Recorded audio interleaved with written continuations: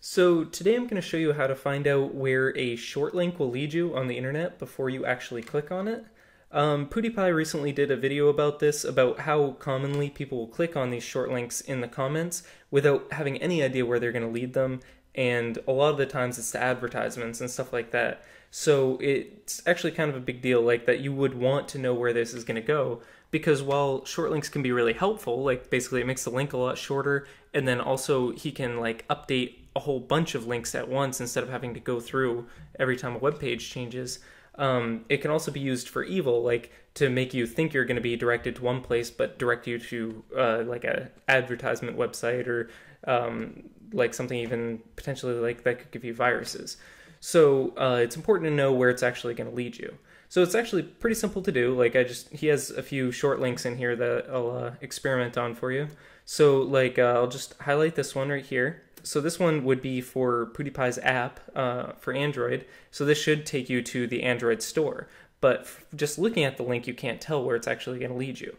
So if you just highlight it, right click, and go to copy, and then open up a new tab, and then paste it, then just add a plus symbol at the end of it. And then just hit enter.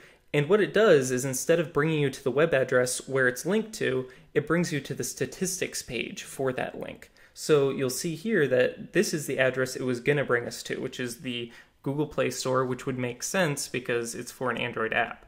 Um, and then you can also see how often people are clicking it. Like just that one link um, has been clicked 1.7 million times, which is pretty interesting actually. But um, biggest thing is that you can use it for safety and to actually know where it's going to bring you.